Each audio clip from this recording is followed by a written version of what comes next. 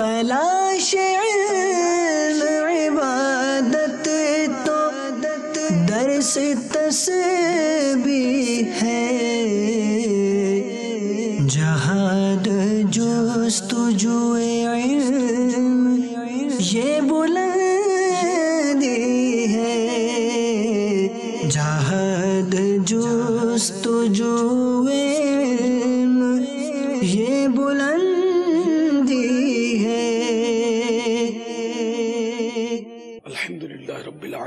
والصلاة والسلام على سيد المرسلين. أما بعد، فأعوذ بالله من الشيطان الرجيم. بسم الله الرحمن الرحيم. الصلاة والسلام عليك يا رسول الله. وعلى آلك وصحابك يا حبيب الله. الصلاة والسلام عليك يا نبي الله. وعلى آلك وصحابك يا نور الله پاپا کڑن شاہ کون ہوتے ہیں اور کڑن شاہ اگر بننا چاہے تو کیسے بنے گا؟ قرآن شاہ یار ویسے یوں دیکھا ہے کہ یہ عطیہ خدا بندی ہے جس کو مل گیا مل گیا۔ کہ وہ بتکلف کوئی بنے تو بنے ورنہ وہ ایک عادت ہوتی ہے وہ چڑتا ہی رہتا ہے کڑتا رہتا ہے اس کا دل جلتا ہی رہتا ہے۔ وہ کوتاہیاں دیکھ دیکھ کر۔ یہ قدرتی ہوتا ہے بس پھر یہ کہ اپنی اپنی سوچیں ہوتی ہیں۔ سوچ۔ اب مثال کے طور پر میں اپنی اپنی مطلب میں اپنے منہ سے قرآن شاہ کیا بولوں؟ میری سوچ بتا رہا ہوں۔ میری سوچیں ایک پرواز ہے سوچ کی۔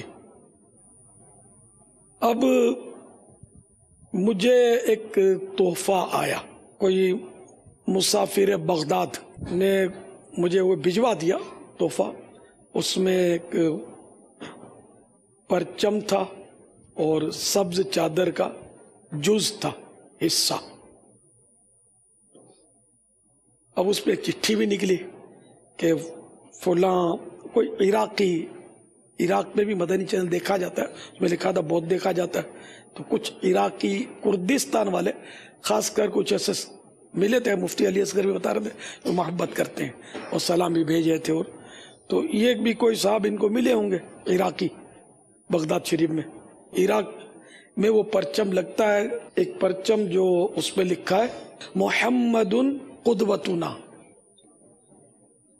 صلی اللہ تعالی علیہ وآلہ وسلم بھی لکھا ہوا ہے۔ جس طرح ہم جشن ولادت میں یہ لگاتے ہیں نا، تو اس طرح یہ وہاں ان دنوں یہ پرچم لگاتے تو انہوں نے مجھے یہ محمد قدوتنا صلی اللہ تعالی علیہ وآلہ وسلم، یہ پرچم اور چادر مبارک، ایک پیس اب چادر کس کی ہے؟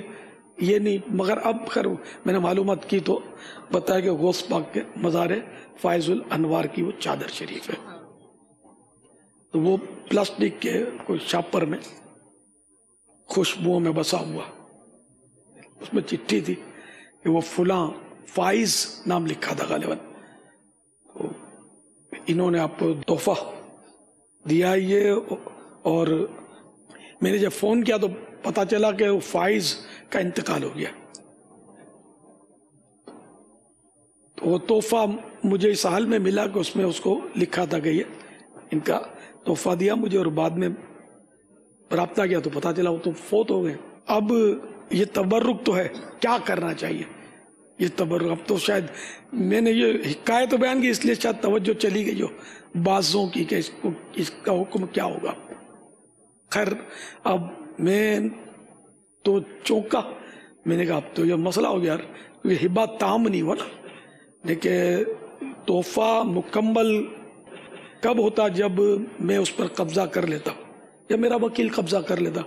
لیکن ابھی تو یہ میں مجھ تک چلا، میرے ہاتھ میں آیا، اس سے پہلے وہ فوت ہو گیا۔ تو اب یہ تحفہ اسی طرف لوٹے گا۔ اور اب یہ وارثوں کا ہو گیا۔ ان کے جنہوں نے میرے مجھے دیا مجھے دیا، لیکن میں لے نہیں پایا تھا۔ تو اب میں نے اس کی پھر مفتی صاحب سے رجوع کیا اور یہ وہی کہ اب یہ ہے تو واقعی وارث ہوگا۔ اور اس کو اب وارثوں تک پہنچانا ارے یہ بھی ایک مسئلہ ہے، اسے عراق شریف۔ اب اگر وارث اجازت دے دیتے ہیں کہ تم رکھ لو، تو رکھنا جائز ہو سکتا ہے۔ لیکن اگر وارثوں میں نابالغ ہو تو اس کا اجازت دینا بھی ظاہر ہے کہ وہ قابل قبول نہیں ہے۔ تو ابھی مزید میں اس کی ابھی تک تحقیق کے مراحل میں ہوں۔ اس کا فل مسئلہ مجھے معلوم ہو جائے کہ اب میں اس کو کیا کروں۔ اگر اس کا نابالغ ہوا کوئی تو پھر تو اور مسئلہ ہو گیا۔ اگر خریدتے ہیں تو بیچے گا کون اس کو؟ کس طرح ترکیب ہو؟ تو انشاءاللہ میں اپنی قرآن شاہی بتا رہا ہوں۔ ورنہ عام ہو سکتا ہے کہ آدمی اس پر کیئر نہ کرے۔ تو انتقال ہو گیا۔ اللہ بیچاری کی مغفرت کرے۔ تو فرق لینا ہے۔ عموم جنرل بات، جیسے آج کل تو تو یہ ترک تقسیم ہو بھی نہیں رہے۔ یہ تو بڑا بہت اتنا پرابلم ہے جس کی انتہا نہیں یتیموں کا بھی حصہ ہوتا ہے اور سب کھا رہے ہوتے پی رہے ہوتے جان بنا رہے ہوتے حصہ بھی بیچاریوں کا نہیں دیا جاتا اور ہیں، مظالم بھی ہیں اور بانٹ مطلب ترکہ تقسیم ہی نہیں ہو رہا۔ عام طور پر نہیں ہو رہا ترکہ تقسیم۔ ہمارا خود ترکہ تقسیم نہیں ہوا تھا ہمارے والد صاحب فوت ہو گئے۔ تو تقسیم نہیں ہوا تھا۔ میں تو بہت چھوٹا تھا۔ پھر بھائی کا جب انتقال ہوا، تب یہ مسئلہ کھڑا ہوا کہ اب بال بچے اس کے۔ بیوہ۔ اب ترکہ جا کر پھر میں نے فتویٰ لیا، دارالعلوم امجدیہ۔ مفتی وقار الدین صاحب رحمۃ اللہ تعالی علیہ، حیات دعوت اسلامی شروع نہیں ہوئی تھی۔ تو فتویٰ لیا اور پھر ترکیب ہم نے کی۔ ترکہ تقسیم کرنے کی، ورنہ ترکہ تقسیم نہیں ہوتا۔ ہے مطلب اس میں بہت آزمائشیں ہیں۔ وہ تو بزرگوں کی احتیاطیں تھی کہ ایک بزرگ کا لکھا ہے نا، احیاء علوم وغیرہ میں، کہ وہ کسی مریض کے سرانے تھے رات کے وقت، چراغ جل رہا تھا، انتقال ہو گیا اس مریض کا، فوراً انہوں نے چراغ بجھا دیا۔ بولا، اب اس کے تیل میں وارثوں کا حق ہو گیا، میں اس کو کیسے جلتا چھوڑوں؟ اور کیسے مدنی سوچتی؟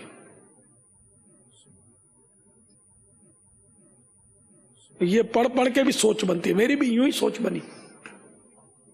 مجھے مفتی عبد الحلیم صاحب، دامت برکات ملالیہ ہند میں جو انہوں نے، ان، انہوں نے بھی کچھ بتایا تھا کہ کہیں انتقال ہو گیا، کسی کا اور کچھ ایک بتائی تھی اپنے آپس کی کچھ۔ یعنی کہ والد صاحب کی بتائے گی تو ہم نے کہہ دیا کہ اب گھر کی ہر چیز الگ کر دو۔ ایک سوئی بھی نہیں، بس میں استعمال نہیں کروں اس کو۔ سب کو الگ کرو۔ پھر اس کا ترکہ تقسیم ہوگا۔ اس طرح کا کچھ بتایا تھا۔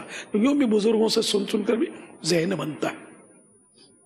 لیکن اب کچھ بھی نہیں ہوتا، والد فوت ہو جاتا ہے، وہی مطلب مزے سے کھاتے پیتے، جان بناتے اس میں یتیموں کا بڑا مطلب اس میں تشویش ہے۔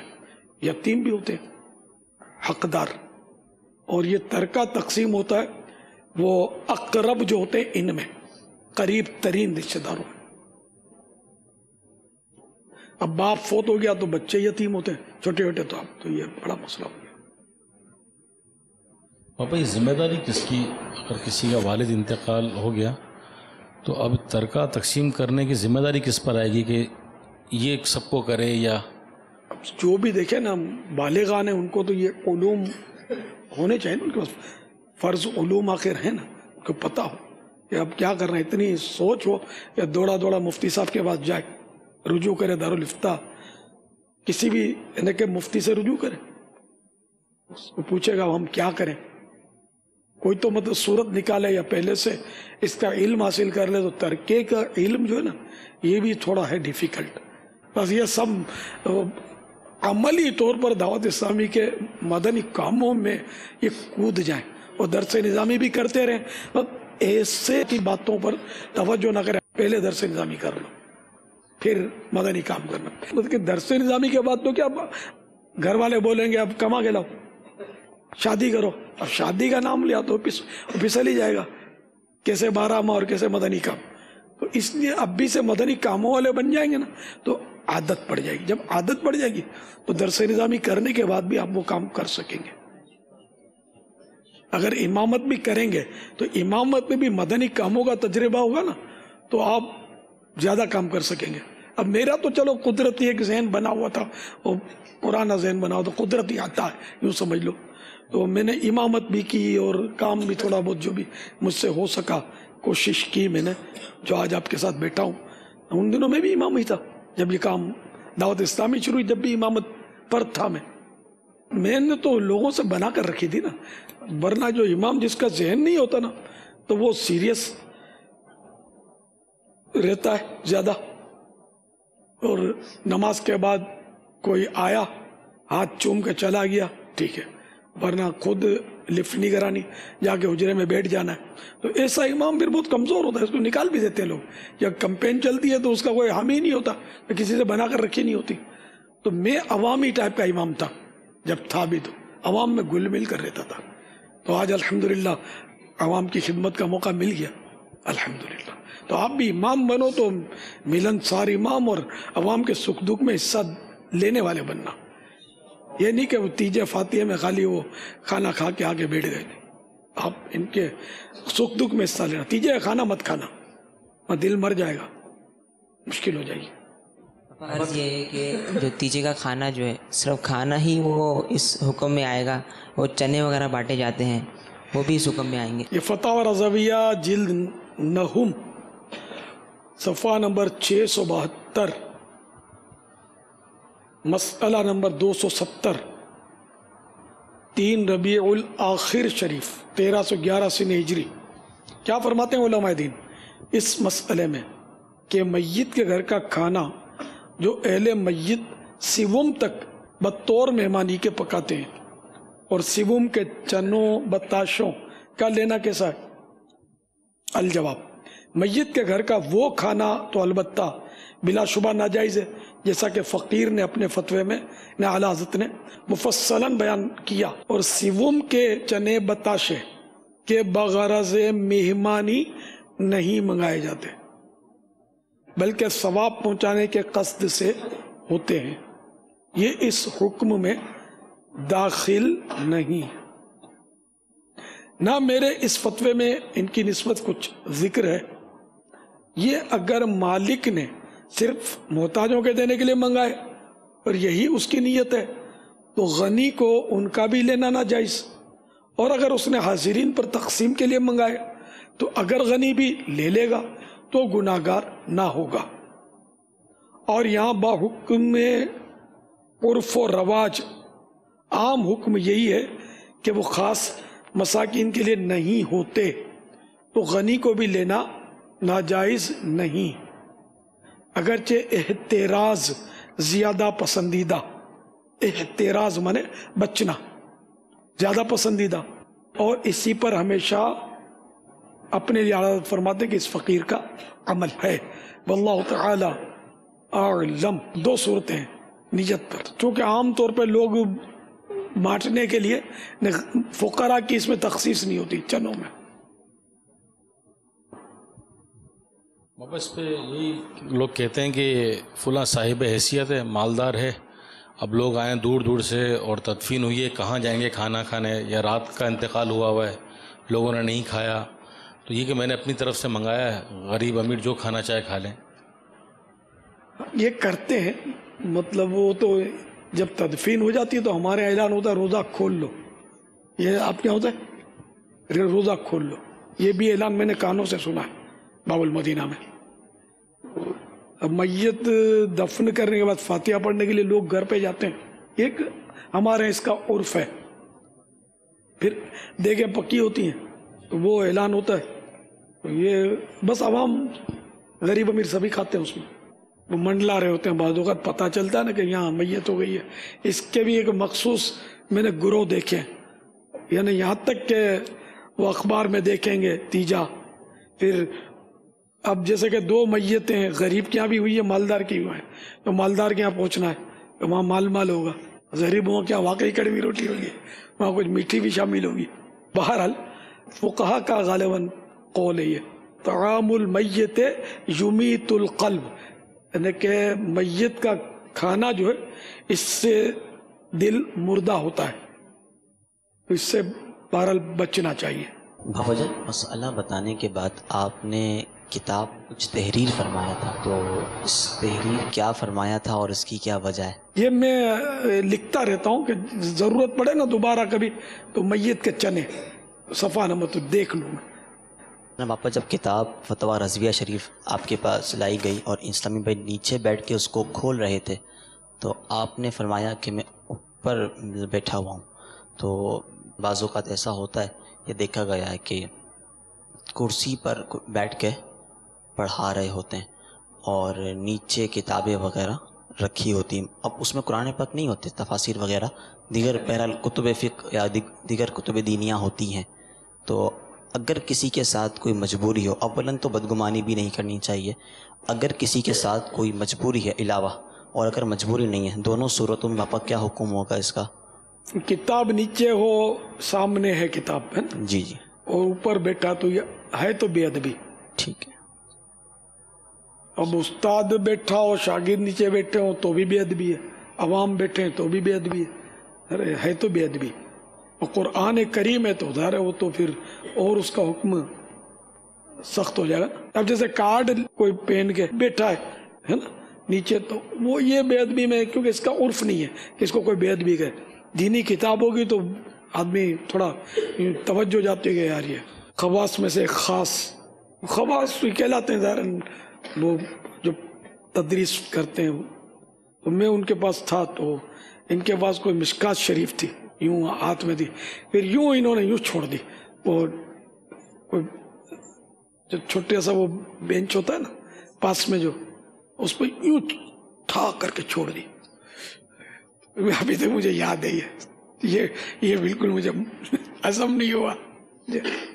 تو بعض باتیں ہضم نہیں ہوتی۔ اب حدیث پاک کی کتاب یوں چھوڑ دی مطلب یوں اٹھا کے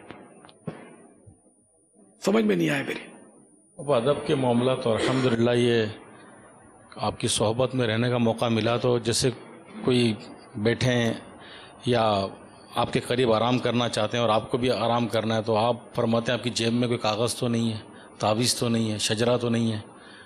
اب گھر میں بھی پاپا بچے ہوتے ہیں یا اس طرح کوئی پاؤں کے پاس آگے سو گیا، تعویذ ہے۔ تو اب عام طور پہ اس کا کیسے دیکھیں؟ عرفن تو اس کی کوئی بے ادبی اس کو کوئی بولتا نہیں ہے۔ یہ ہمارا حاجی رضا ہے نا یہ اس نے یہ تعویذ کی توجہ دلائی تھی۔ کہ تعویذ بھی کسی کا پہنا اور میں تو پاؤں نہیں کرتا اس پہ اس طرح کا برسوں پہلے مجھے کہا تھا۔ یوں میرے کو بھی یہ بات پسند آئی۔ مدینہ میں مدنی کاموں کے حوالے سے تین رکنی مجلس ناظم صاحب نے منائی ہے۔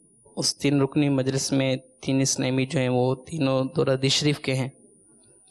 اور الحمدللہ سوجل روزانہ مساجد میں جو اسلامی درس کے لیے جن کی ذمہ داری ہے وہ جا رہے ہیں تو ان کے ساتھ ساتھ تو وہ بھی فالو اپ کی کوشش کر رہے ہیں۔ اور اب تک جو مساجد اس علاقے میں تنظیمی طور پر تقسیم تھیں تو اس میں کافی ساری مساجد یعنی اکثر مساجد میں درس جو ہے وہ شروع ہو چکا ہے ساتھ ساتھ جو درس کی بھی ترکیب ہے۔ ماشاء اور باپا اپنے نفلی روزوں کے حوالے سے تو الحمدللہ ہر پیچ شریف کو تقریباً تیس کبھی ہو گئے کبھی چالیس طلبہ ہو گئے اور اس سے زائد بھی ساٹھ بھی ہو یعنی اتنی بھی تعداد۔ جب لگاتار یہ چل تحریک چلتی رہتی ہے تو زائد طلبہ بھی شامل ہوتے ہیں۔ تو تعداد زائد ہوتی ہے یعنی۔ اور اسی طرح تقریباً چار پانچ اسلامی جو روزانہ روز رکھتے ہیں۔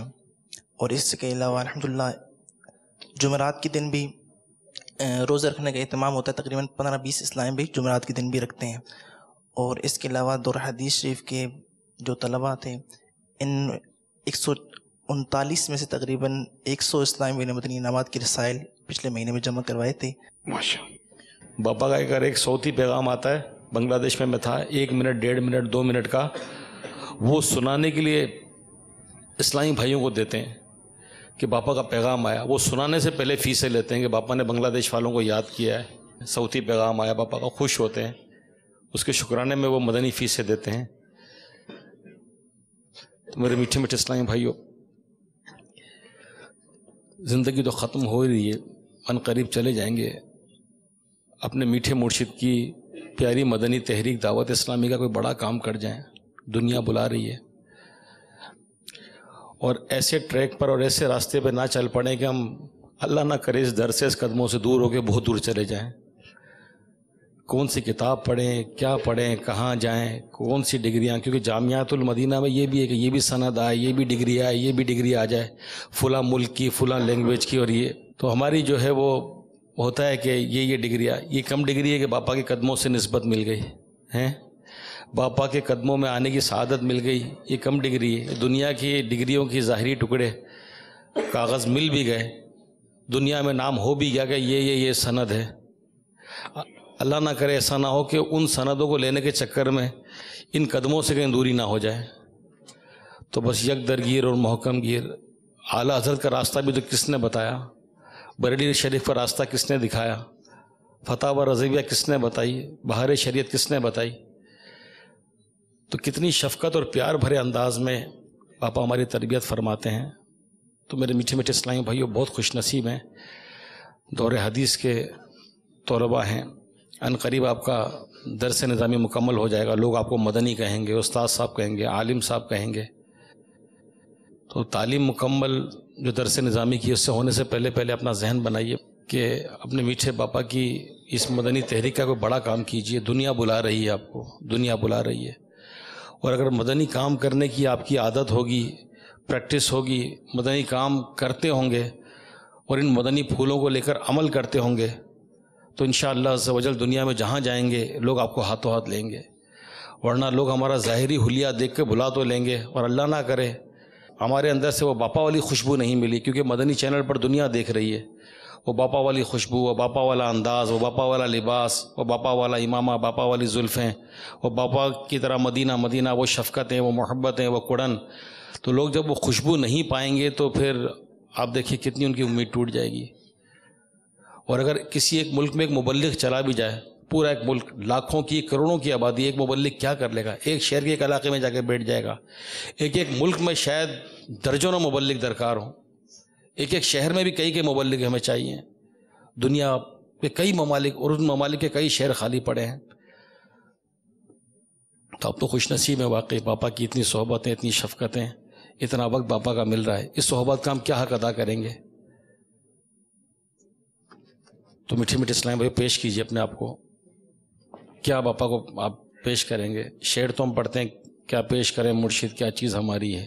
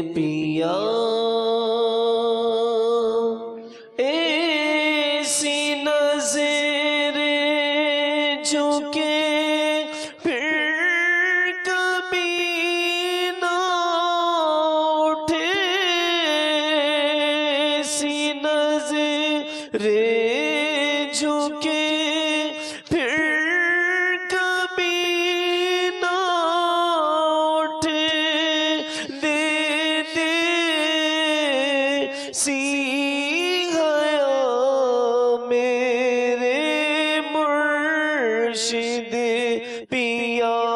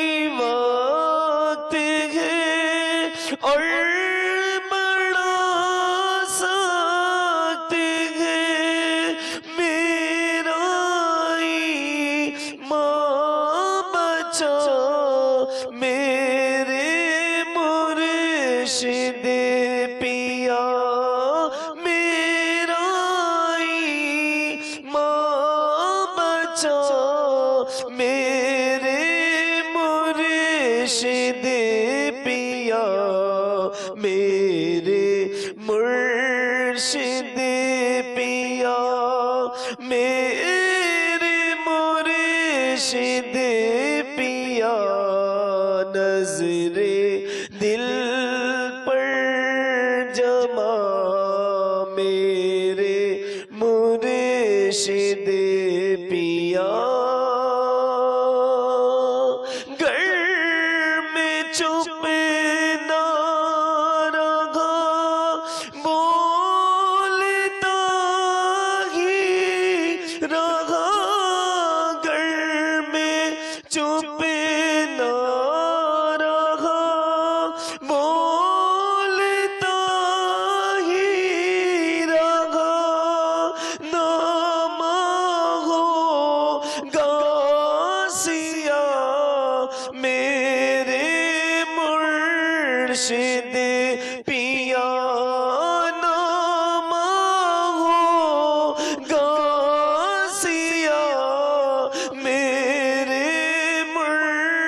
মুর্শিদি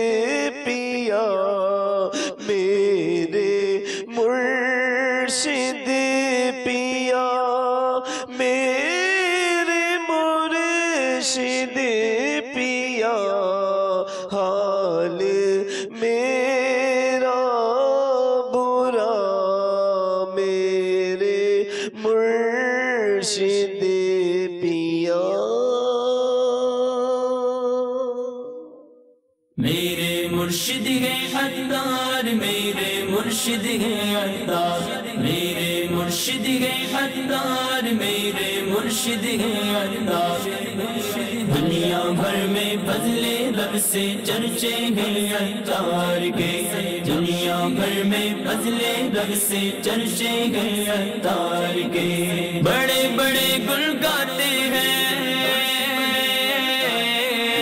بڑے بڑے گل گاتے ہیں ان کے سترے کردار کے۔ دنیا بھر میں فضل رب سے چرشے گئے اتار کے۔